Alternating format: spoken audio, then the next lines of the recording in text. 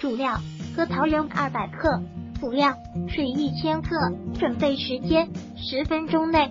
制作时间：十分钟内。准备二百克核桃，将核桃仁用一千克的水洗净，并放入盘中两十分钟。